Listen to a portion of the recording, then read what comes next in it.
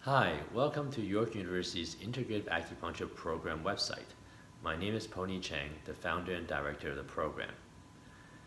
My area of expertise is the peripheral nervous system associated with acupuncture points and traditional acupuncture point location based on the Ling Shu and Jia Yi Jing. I specialize in the integration of acupuncture channel theory and modern neuroanatomy. This program will not just teach you the anatomy associated with acupuncture point, it teaches you how to predict and confirm the Deqi sensation unique to each acupuncture point. Deqi sensation is paramount for clinical efficacy, yet not too much attention is spent on teaching students what is the specific Deqi sensation associated with each point.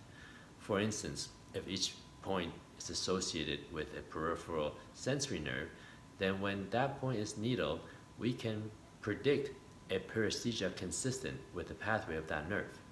If a point is associated with a mixed nerve trunk, when electricity is applied to that, we would expect activation and recruitment of all the muscles downstream of that nerve. Once you have a, a clear understanding of neuroanatomy and is able to obtain consistent needling outcome, your treatment results become highly reproducible. Students that apply our methodology get excellent and reproducible results in their clinical practice, especially when it comes to treating common orthopedic conditions. This program will also teach you how to plug channels according to chapter 75 of the Ling Shu, how to palpate nerves, and how to use one needle to affect multiple muscles through the power of nerve trunk stimulation. You will spend time in the cadaver lab and be amazed with just how, how deeply the ancient acupuncture authors had an appreciation and full grasp of the anatomy of the human body.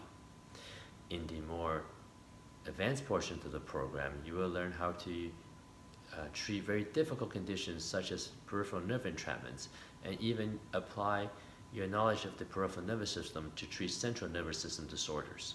This program is firmly based on traditional acupuncture classics as well as modern evidence-based research on the peripheral nervous system.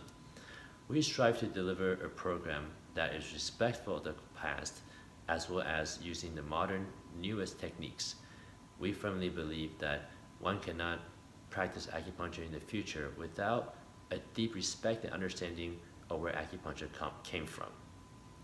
On behalf of York University's Integrative Acupuncture team, we thank you for watching this video and we look forward to sharing this continuing education experience with you.